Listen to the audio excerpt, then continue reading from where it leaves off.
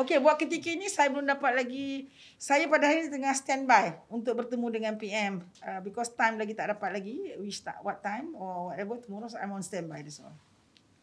Where is today? Kan Datuk? Meeting. Yeah, he told me next week. Next week is this week. So it could be the whole of this week, but I'm on standby.